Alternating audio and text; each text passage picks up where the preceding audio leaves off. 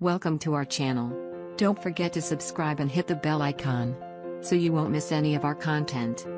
Hello, good to have you here.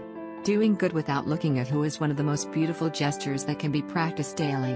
This is why today we want to invite you and tell you how you can do it. In our story today, you will see how a simple gesture is capable of helping those around you and in this way make that gesture multiply even by the world. Do you want to know how? So I invite you to stay until the end. Terry is a 37 year old man who had the fortune to witness a really kind gesture and moment, and the best thing is that it was recorded in the memory of all the passengers who were on a flight. The reason is that he decided to give up his VIP ticket to give it to a military woman who was clearly in poor health. The man who is a businessman was boarding the plane as usual in the comfort zone, not only to have a good time on his trip, but also the travel hours were very long, almost 8 hours approximately, so he needed a place to rest and above all to be comfortable.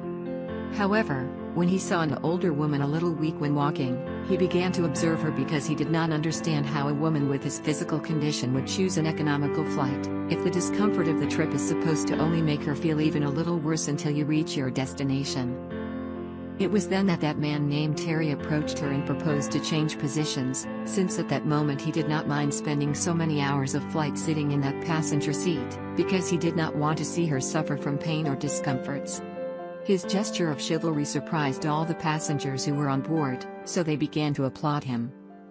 The man was able to talk to her for a while before separating from their seats, and discovered that in her past she had been a militant woman who helped many people at risk because of wars. It was then that the man understood that she really deserved that place, not only because of his age, but because of his great work during so many years in humanity. Many letters came to this man, after having made that kind gesture, because people like us greatly admire when someone makes even a small gesture to improve and contribute your bit to the world. And it is that without a doubt, life places us in the place we deserve to be after we do a good job for humanity. That is why it is important to always be kind and helping others is the purest way that you receive much more in the life of what perhaps you expect, when we act from the heart and with love.